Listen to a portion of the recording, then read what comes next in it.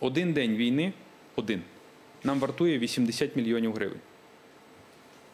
І я не рахую ті податки, які ми не піднімаємо з Донецька і Луганська. Там не платять нам податки, їх перестали платити. Я не рахую мільярди, які нам треба зараз витратити на те, щоб відновити Донецьк і Луганськ. Я не рахую опосередковані збитки, які несе українська економіка. Ну, наприклад, по тому ж вугіллю. Ми вперше за два десятки років почали вугілля імпортувати. Тому що ми українське вугілля не можемо використовувати. Вони розбомбили шахти, вони розбомбили залізниці, і ми не можемо його довести. І ми мусимо купувати на 20% вугілля дорожче по імпорту, щоб оці лампочки тут в студії світилися.